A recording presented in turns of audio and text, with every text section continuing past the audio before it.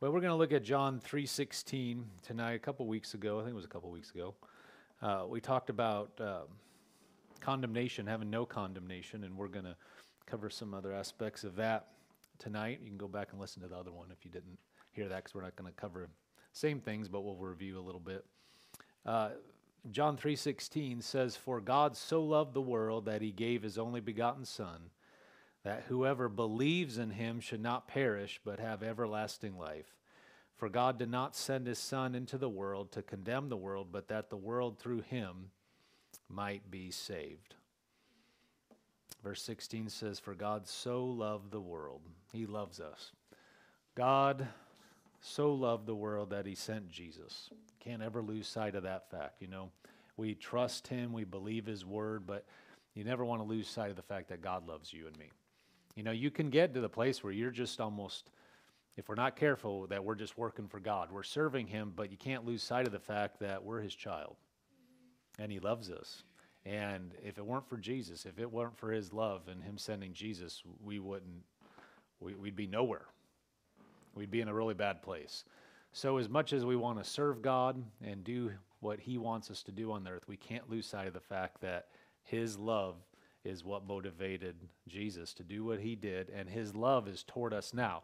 If we say his, his love is toward the world, for God so loved the world, and we'll tell that to people that don't know him. God loves you, God loves you. Well, don't let's just not lose sight of that ourselves.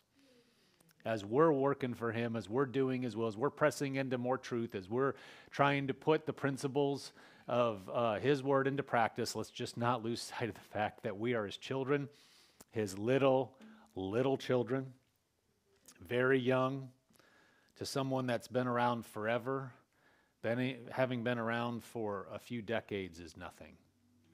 And he loves us dearly. And you know, you can't be like, well, I, have I've been trusting him for however long and I've walked with him. Well, that's nothing compared to how long he's been around. And we are very little in his sight. It'd be like you or me, you know, adults walking together. We have some of them here just with little toddlers. You know, you're so merciful and so gracious with them. They, they don't hardly know anything, haven't been around very long at all. and sometimes we can get the sense that, well, I've been around. I mean, I know the Lord. And in the light of infinity, forever, 10 years, 20 years, 30 years, that's nothing. That's less relatively than a toddler on the earth to any one of us. No matter if you're 100, if you're looking at a three year old toddler, the difference between you and that toddler is nowhere near the difference between us and the Lord. Mm-hmm. And so he looks at us, say, "Yeah, you're you're doing a good job, sweetie. You're doing a good job. Keep up. I love you. I'm I'm, I'm for you." Mm-hmm. You know, we're just, "Oh, I, I'm I'm mature." He's been around forever. And so he loves us. When you come to the Lord, always remember that's got to be the foundation that he, he he's for us. He loves us. He understands where we are. He understands what makes us tick. He understands the things that were implanted in us before we even knew what was going on. And He works with us. Amen. And He's so good to do it. And so we need to understand that. We need to believe that and walk with Him. And then everything else will flow better when, we, when we're on that foundation. Anything, you know, we come together, we, we press into the Word, we learn the Word of God, and uh, that's great. We want to grow in Him. But, you know, we just want to be careful we don't fall into a, a method of trying to get more, learn more, do more, do better because, you know, in those moments where stuff, the world kind of stops, something happens, and all of a sudden you, you reevaluate what's really important and just it can make you reset. You know, something happens or, you know, just reminds you, oh, thank God this didn't happen. Oh, that was a close call or whatever. And you just realize, and so much of the stuff that we deal with, it's not even that important. You come down to it, you know the Lord, people you love. Yeah, you got it made, especially that we know Him. We know we know him.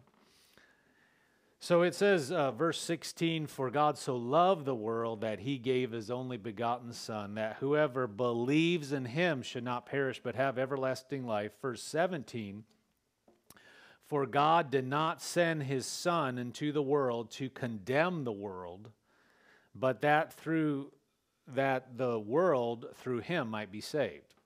So God didn't come into the world to condemn us.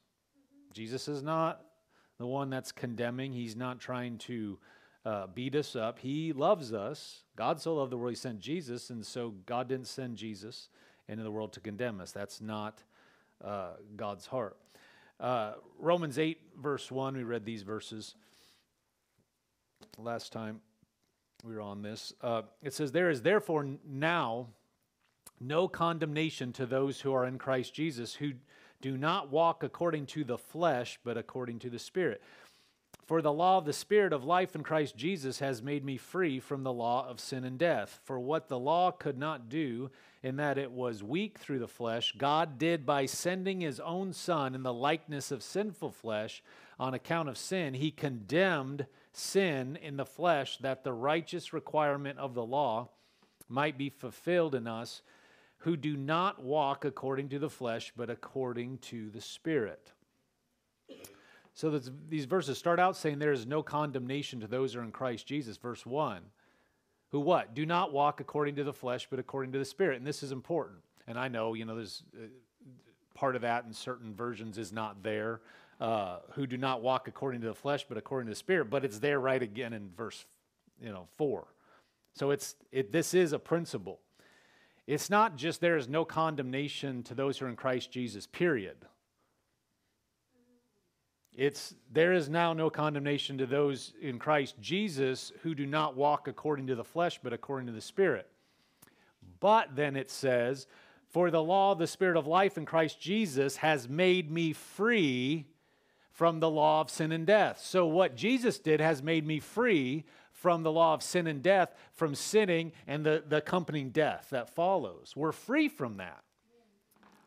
If you just stopped in the first verse and said, well, you know, that's great as long as you don't walk according to the flesh and the spirit, well, that can become now a burden that you can't bear, except that Jesus made it possible for us to do. Verse 3 For what the law could not do, in that it was weak through the flesh, because everybody had flesh, and so that was the entry point, that was the weak point. God did by sending his own son in the likeness of sinful flesh. So, like us, he came in uh, the form of a man. On account of sin, he condemned sin in the flesh. In other words, he overcame it in his, with his flesh. He in the flesh, he didn't sin. So he dominated it, that the righteous requirement of the law might be filled in us who do not walk according to the flesh, but according to the Spirit. So Jesus came to make it possible for us to walk on the earth, not according to the flesh, but according to the Spirit. Um, the verse 1 again in the amplified classic says therefore there is now no condemnation no judging guilty of wrong for those who are in Christ Jesus who live and walk not after the dictates of the flesh but after the dictates of the spirit. So not following what the flesh wants to do but according to the spirit which God has made it possible that we can do. We can walk according to our hearts. We can walk according to our spirits. Now, God, through Je- Jesus, was sent to make us right with God so that we could be declared righteous. We were talking about that on Sunday. But then we're walking, he, he put us in right relationship with God. But now, by believing on Jesus, that's how we, we get in right relationship with Him. But now we're walking in the earth. And to the degree that we walk according to a heart, then we're going to walk without condemnation. When we yield to the flesh, that is going to lead to condemnation, but God has, through Jesus, made it possible that we can walk according to our heart and be free from the snare of sin and death that the devil wants us to be uh, caught by. So we need to know this. We need to know that we have the ability to walk free. That through Jesus, we have the ability to walk free. We don't have to be under condemnation. We don't have to yield to our flesh. We all have flesh. When we say flesh, we're talking about our body. and we're talking about the flesh nature and all the stuff your, your my flesh wants to do. If you just leave it to itself, it, it doesn't just go in the right direction.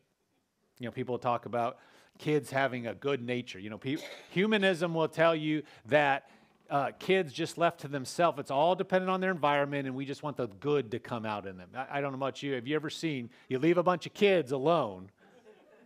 They don't. All the good just comes out, right? You ever heard? It's a little. You know, there's a bunch of kids around, and it's just a little too quiet right now. What's going on? You're not thinking, oh, they just probably hatching a plan just to be good little angels. No, that's not what you're thinking. You're thinking it's too quiet. What's going on, right? Nobody. I mean, I don't even think people actually believe this stuff that, that would teach it. You really believe you get a bunch of kids together, and, and the more they go into elementary and middle school and high school, just get better and better.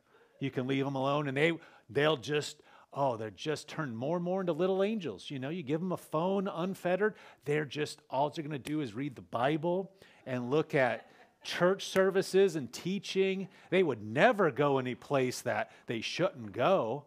I mean, you give them a social media account, they probably won't even look at it at all, ever, except maybe to follow a church or something. I mean, they're, they're never going to DM somebody, you know, and say anything mean. They're just going to be super nice and just send love and roses to everybody. that what we believe? No. You know. You leave kids alone. They're going to get into trouble, and that doesn't change as adults. We don't have a natural good nature. That's why we needed Jesus. We have a sin nature. We were born, and every person, Adam messed it up. Adam and Eve messed it up for us, and God bless them. But, you know, we're going to meet him in heaven.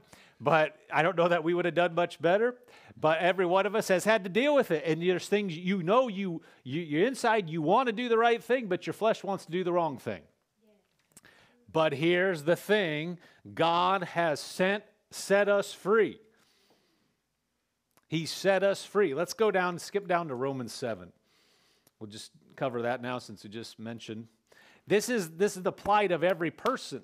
But the good news is Jesus set us free. We don't have to just walk like we don't have Jesus. Romans 7, verse 14. This is Paul. You can read the whole chapter. He goes on a, lot about things, but we're going to pick up in verse 14 for the sake of time. The Apostle Paul says, for, for we know that the law is spiritual, but I am carnal sold under sin, for what I am doing I do not understand. For what I will to do, that I do not practice, but what I hate, that I do. If then I do what I will not to do, I agree that the law it, that it is good. I agree with the law that it is good. But now it is no longer I who do it, but sin that dwells in me. For I know that in me, that is in my flesh, nothing good dwells. For to will is present with me, but how to perform what is good I do not find.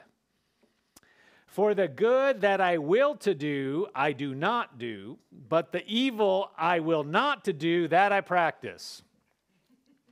Now, if I do what I will not to do, it is no longer I who do it, but sin that dwells in me. So he's saying, I want to do the right thing, but I find that my flesh wants to do the wrong thing. And so if I agree that that thing is wrong, that I agree that the commandment is right because I don't want to do it. And if I don't want to do it, I'm saying that's a bad thing to do, which means the thing's right. But what I find is that there's stuff is working against each other here. Verse 21 I find then a law that evil is present with me, the one that wills to do good. For I delight in the law of God according to the inward man. But I see another law in my members, warring against the law of my mind and bringing me into captivity to the law of sin which is in my members. O wretched man that, man that I am, who will deliver me from this body of death? I thank God through Jesus Christ our Lord. So then, with the mind, I myself serve the law of God, but with the flesh, the law of sin.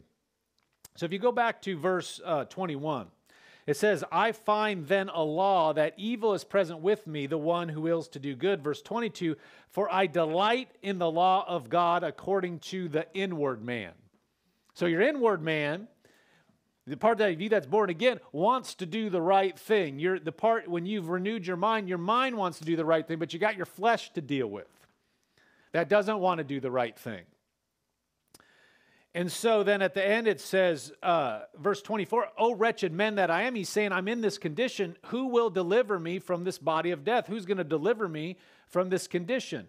Verse 25, I thank God through Jesus Christ our Lord. Jesus delivered us from it. So then, with my mind, I serve the law of God, but with the flesh, the law of sin.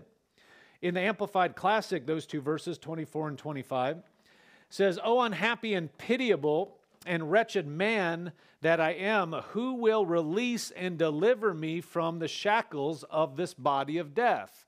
Who will deliver me from this condition that my flesh wants to do the wrong thing, but my spirit wants to do the right thing? In my mind, I'm saying I want to do the right thing, but I got this desire out of my flesh to do the wrong thing. Verse 25, oh, thank God, he will through Jesus Christ, the anointed one, our Lord. God, through Jesus, has made a way for us to be delivered from that. We've been delivered from the law of sin and death. We don't have to go the direction of the whole world, we've been set free. It says, So then I, indeed, I of myself with the mind and heart serve the law of God, but with the flesh, the law of sin. So there is a, a combat going on between our flesh and our, our inner man. So we're talking about condemnation. When we yield to the flesh, like we started out in Romans talking about, that's where condemnation is going to come from because we know, like what Paul's saying, I know, I agree that what I'm supposed to do is right because I'm know I know that this thing is wrong. And if I if I don't want to do it, I'm saying that that's wrong, which means the commandment's right. So what's the commandment for us? Let, go to Galatians 5:13. That's you know, skipping up some. Galatians 5:13. It says, "For you, brethren, have been called to liberty." Okay, so we've been set free. We've been called to liberty. Through Jesus, we've been set free. We can do we can we can we have liberty, we have a free will to act. It says only do not use liberty as an opportunity for the flesh. So just because we're free, that doesn't mean we should go now yield to the flesh. The Bible does not teach that we can do whatever we want because Jesus died for us. Now we have the ability. Of course, you can do whatever you want. I can do whatever I want, but there's consequences. We have liberty to do whatever we want, but there's going to be consequences and bad things happening if we yield to the flesh. You can blow up a lifetime of integrity in five minutes or less. You yield to your flesh. Yes. Boom. Everything, your trust with people, your, your reputation could go down the drain in a matter of seconds. Making the wrong decision, yielding to your flesh. We all have we all have flesh. So we we have to choose what we yield to. So it's not right to say, well, thank God for Jesus, and so we can just live condemnation free no matter what we do. That's just not true. Because we know on the inside what's right and wrong. And so if we violate that, we're going, condemnation is going to be there, and it's our own heart. We'll see that, I believe, we'll read a scripture, but it's going to be. Uh, it's going to be our own heart that's condemning us. Why? Because we know we're doing it wrong. And we the thing is we don't have to live there. We don't have to be there. We don't have to say, well, there's just no way, so I have to be condemned. No, Jesus made a way so we could be set free. And He made a way for us to be cleansed. If we do miss it, we can be cleansed and cleanse our conscience. We talked about that last time. Your conscience can be free that even though you missed it, even though you did what you know was wrong, if you, if you get it right with God, you can come to God, get it right, and then you can be free. And you don't have to live under condemnation. We don't have to live there, but we can also avoid it to begin with. And we can just walk in the, in the truth and walk according to our heart. So let's read the verse, uh, beginning of verse 13 again. For you, brethren, have been called to liberty. Only do not use liberty as an opportunity for the flesh, but through love serve one another. In other words, use our freedom to serve one another, to walk in love. Verse 14 For all the law is fulfilled in one word, even this, The law is all the, the, the Old Testament, the, the, especially the five, uh, first five books of the Old Covenant, Old Testament, uh, called the Pentateuch. That's the, the law, all that's contained in it, the Ten Commandments, all these things. The law uh, told people what to do and don't do, but they did not have, uh, they were not spiritually alive like we can be in the New Testament. So they had all these laws. But verse 14 says, For all the law is fulfilled in one word or one saying, even this you shall love your neighbor as yourself. You shall love your neighbor as yourself. So that is the law. In the next verse, but if you bite and devour one another, beware lest you be consumed by one another. That the law of love is our law in the New Testament. That's what we're to live by. If we live by love, then we won't break any of the laws that are that apply to us today. You know, there's laws in the old covenant about ritualistic uh, behaviors and sacrificing animals. They don't apply to us today. But everything, anything that uh, the uh, blood of Jesus and the New Testament doesn't undo, you know, then there's certain things that are, it's still the right thing not to lie. It's still the right thing not to commit adultery. Those things apply. But if you walk in love, you won't do any of those things anyway. You can't love somebody and lie to them. You can't love somebody and, and commit adultery with their wife. You don't love somebody and commit and kill them. No, if you the law of love supersedes all those laws. It outdoes them. It's much higher. Jesus said, you know, you just speak roughly to somebody, you're guilty of murder. You look at a woman to lust after, you've committed adultery. That's the law of love is so much higher than these laws. So it's saying that, that the, the law of love is the fulfillment of these. So then verse 16 says, I say then, walk in the spirit, and you shall not fulfill the lust of the flesh. So he said, just before this, the verse before it, all the law is fulfilled in one word, even you shall love your neighbor as yourself. Then he says, so walk in the Spirit. Now, this is, uh, you don't want to be dogmatic about this, but when you're reading these verses here, see that, that the S is capitalized? The, the, the S, uh, or the, the word for spirit is pneuma. And I'm not a Greek scholar, but I can tell you this. There, the, you have to determine by the context whether that should be capitalized or not. And if you look at the context in a number of places, it's probably capitalized. You know, people have different doctrinal slants where it probably should be lowercase. And here's one of those places where it's talking about yes, you can walk according to the Spirit of God, but it's saying your it's warring between your spirit and your you have a spirit, little s. And then you have flesh, little f. So it's warring between. So look at this with that. Uh, just with that context. Verse 16, I say then, walk in the Spirit, and you shall not fulfill the lust of the flesh. Well, if you walk in the Spirit, the Holy Spirit, according to Him, He's going to bear witness with your spirit. So that works either way. Verse 17, for the flesh lusts against the Spirit, and the Spirit against the flesh. Well, see there, yeah, the Holy Spirit is against the flesh, but you could see it's a war between your spirit and your flesh. Your, your spirit does not want to do the things of the flesh. And the flesh, well, you leave it to itself. It does not want to do the spiritual things. It wants to go do what it wants to do, when it wants to do it, and the degree it wants to do it. All of our flesh. You know, it doesn't want to eat just one chip, it wants to eat the whole bag. You know, it, it, it you just put that in, we have to we have to control it. Verse 17, for the flesh lusts against the spirit, and the spirit against the flesh, and these are contrary to one another, so that you do not do the things you want or you wish. But if you are led by the spirit, you are not under the law. How do you not be under the law? You're led by the spirit. So what do you do? You're being led by your heart. What is what is your your heart is uh according it's been recreated according to God and God is love. And the, the Bible, we don't, we're going to put this up, but Romans 5 5 says that the, the love of God has been poured out in your, your heart. So you're walking according to love. So you're walking to your spirit. We, we just read that love, walking in love, is the fulfillment of the law. You know, even it said, You shall love your neighbor as yourself. That's, that's the whole law is fulfilled in that one word. Okay, so then if we walk according to our heart, which is according to love, if you if you are led by the Spirit, you are not under the law. And if you're not under the law and you're not doing the things that are uh, taught against in the law, but you're walking according to love and you walk according to love, there will be no condemnation. We can walk free of it. And so the way to be able to walk according to our spirit is by the power of God.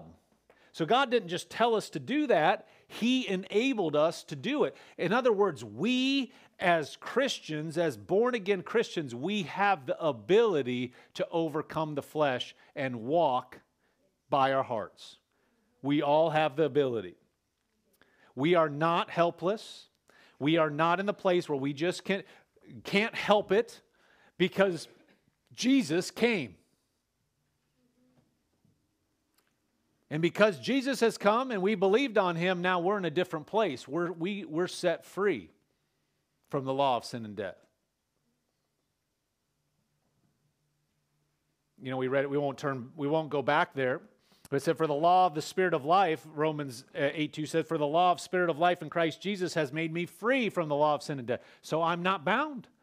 I don't have to go down that path. Now, if I miss it, there's, there's cleansing, but I don't have to go down that path. We need to know that. We need to know that we have the Spirit of God on the inside of us and we can walk free.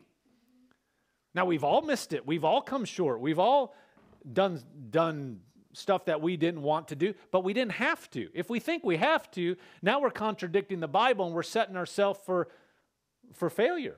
But if we realize, wait, I don't, I don't have to. If I'll listen to God, if I'll listen to my heart, there's always a way out.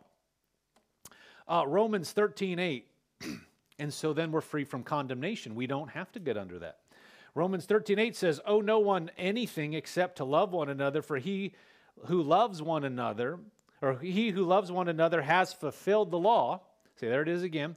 For the commandments, you shall not commit adultery, you shall not murder, you shall not steal, you shall not bear false witness or lie, you shall not covet. And if there is any other commandment, all are summed up in this saying, namely, you shall love your neighbor as yourself. Verse 10 Love does no harm to a neighbor, therefore, love is the fulfillment of the law. So, all these other things, all these commands, if you break them, condemnation is going to be there. But if we walk according to love, then we fulfilled all the law and there won't be any condemnation. That's walking according to the Spirit, not the flesh. That's the pathway for the born again Christian. That's the pathway for us as children of God to just walk according to that inner prompting, according to the Word, which is always going to the uh, our inner prompting through the, the Lord is always going to uh, line up with His Word. Our spirit is always going to be right. And so we will fulfill the law by living, walking in love. Let's look at 1 John 3, verse 18. 1 John 3 18 it says, My little children, let us not love in word or in tongue, but in deed and in truth. And by this we know that we are of the truth and shall assure our hearts before Him. For if our heart condemns us, God is greater than our heart and knows all things. Notice it's our heart, our heart, who condemns us. Verse 21 Beloved, if our heart does not condemn us, we have confidence toward God.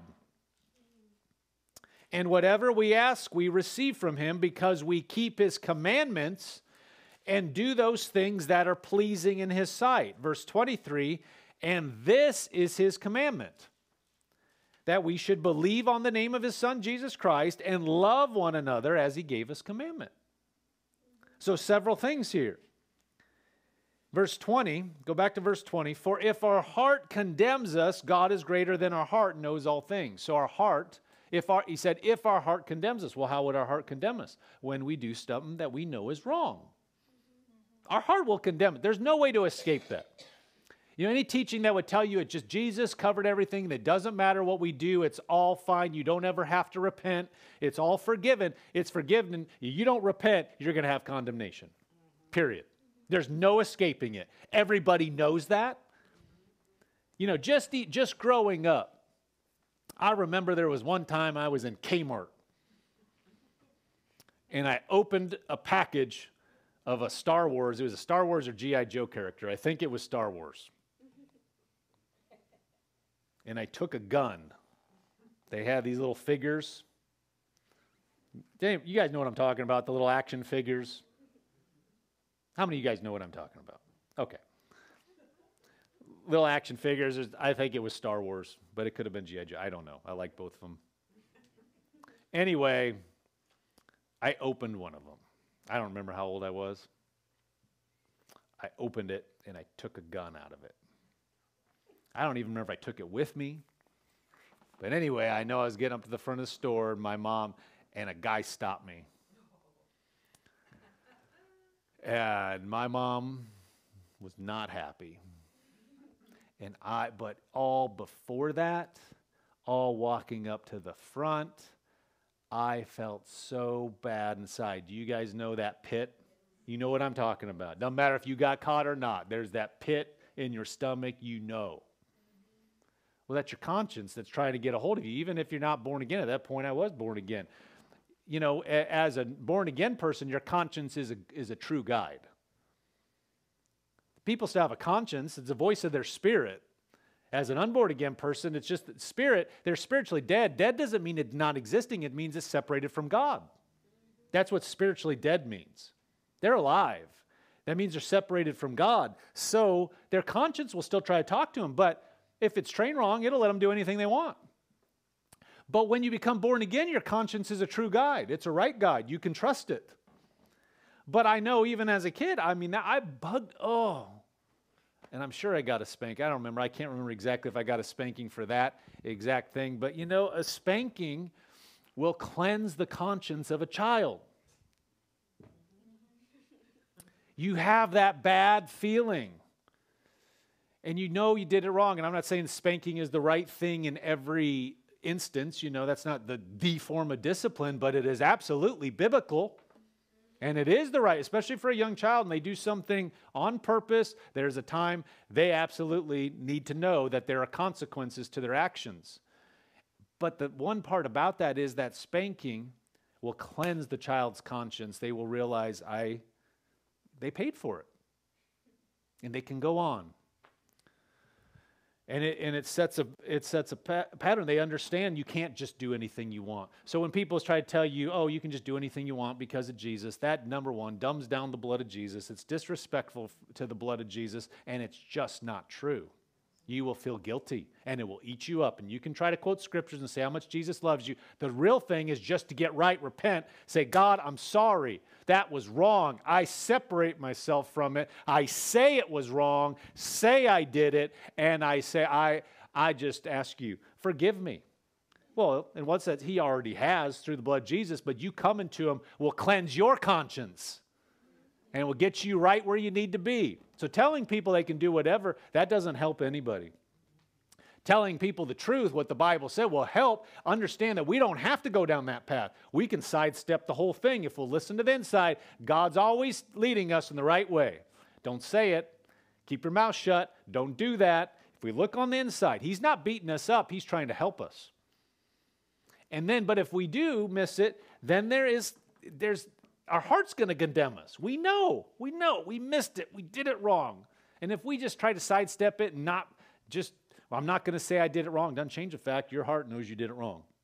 Well, I'm just not going to say sorry because that's our pride. We're just not going to tell that person, it, uh, I'm sorry. It doesn't matter. We're still going to feel guilty. We're going to feel condemned. But, verse, so verse 20, John, uh, 1 John 3 20 says, For if our heart condemns us, God is greater than our heart who knows all thing, things. Verse 21 Beloved, if our heart does not condemn us, why? Because we're living according to our heart. We have confidence toward God. And here is why condemnation is such a tool of the devil. It's not that he wants us to sin. He, yes, he wants us to de- he wants to destroy us. He also wants to steal our confidence. So if he can get you to yield to your flesh, to, for me to yield to my flesh and start going down that path, there will be condemnation. And with that condemnation comes a lack of confidence, a lack of trust, a lack of boldness. Why? Because we know we did something wrong. And we can try to push past and say, well, it's just the blood of Jesus anyway. I'm going to just command whatever in the name of Jesus. The fact is, a moment before, we yielded to our flesh and didn't yield to the Spirit of God. But then when we try to go walk in the things of God, when we are feeling condemned, it won't work because we don't have faith. Why? Because we just believed the wrong thing a minute before. We didn't believe what God said enough to avoid doing it, but now we're trying to override it and use the principles of God when before, and the devil will just laugh at us. If we, if we try to stay in that place, what's the solution? Number one, we don't want to get in that place in the first, we don't want to get in that condition in the first place. Sidestep it. Don't yield to our, our uh, flesh, yield to the spirit, because then Satan has no, he has nothing in us. And we know we're yielding to the right thing, and our heart won't condemn us. And then the Bible says we have confidence. It's not in your own strength, it's in what Jesus did, but it's in you believing what Jesus did. So then, what if you miss it? Well, you come to God and you say, Lord, I missed it. Sorry. As fast as you can. Don't wait. Just say, I missed it. Acknowledge you missed it.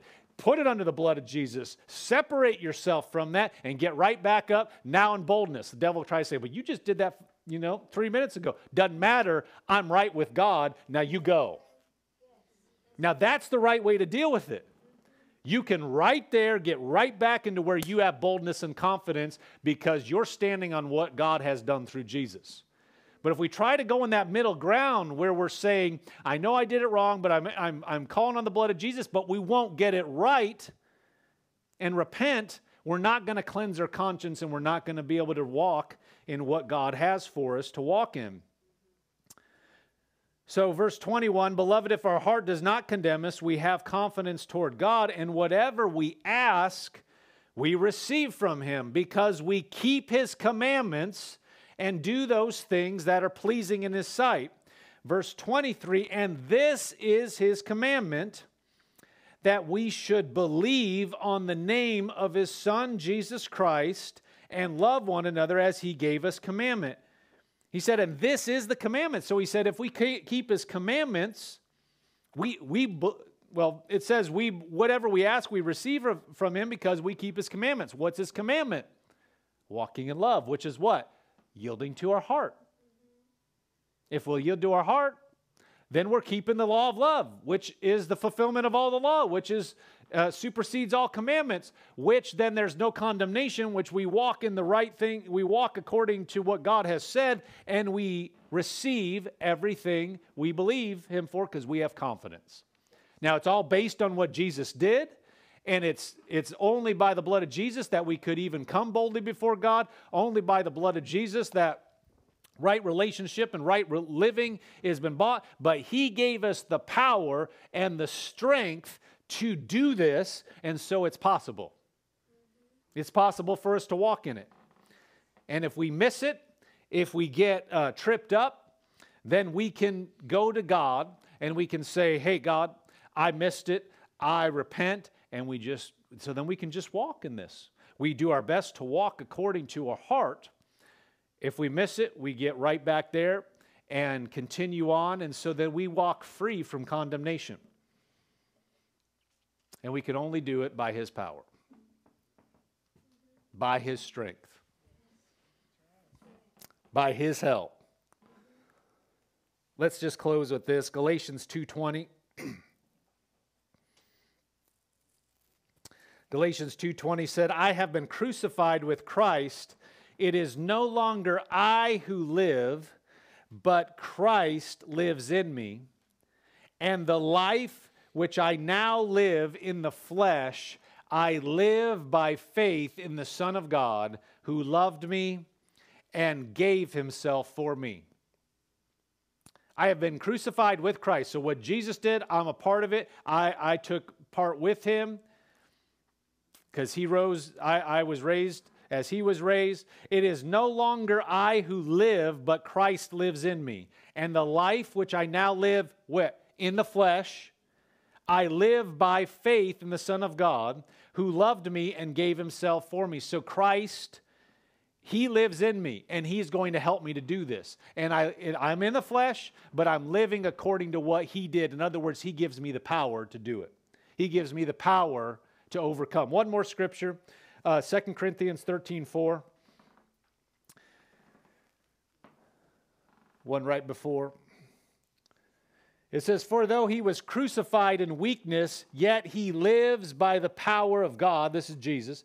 For we also are weak in him, and we shall live with him by the power of God toward you. So we shall live with him, what? By the power of God. So the power of God is toward us, Christ lives in us, and he will enable us the law of the Spirit of life in Christ Jesus has made me free from the law of sin and death. The love of God has been poured out in my heart. The law of God is love, and so God has made it possible for me to walk according to my Spirit, which is love. And as I do that, there's no condemnation for me. I walk in everything God has for me. There's confidence for me uh, toward Him. I receive everything I believe Him for because I am bold, because I'm walking according to my heart and in all that Jesus has provided provided for me. And then there's no condemnation for me. I walk clear of it. The devil tries stuff, yield to your flesh. You say, Oh, no, I'm not going to do that. I walk right by it, and I just keep walking in the power of God. Amen. God, this is our life. This is what He's made for us to do. This is what He set, uh, made it possible, and it's possible for us if we'll if we'll just walk in Him. Praise the Lord. He's good.